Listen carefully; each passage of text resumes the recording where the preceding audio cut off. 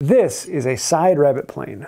The blades are on the side of the body, not the bottom of the body. And this, you can see how this will slide down into the groove, and then I'll push it up against the sidewall, and as I go, I can pull out a shaving. This makes it nice if you're, this makes it nice if you're slotting something into the groove, and you need it to be just a hair wider to make it fit. This also works on dados where you want to go across the grain. You can make it slightly wider to fit that shelf in. So you don't have that perfect grooving blade, one is too big and the next one is too small. Well, then you can go with the slightly smaller one and make it just a little bit wider, making it so you can sneak up on that perfect fit in the dado. That's why it's a side rabbit plane, because you need to be very quiet so you can sneak up on it.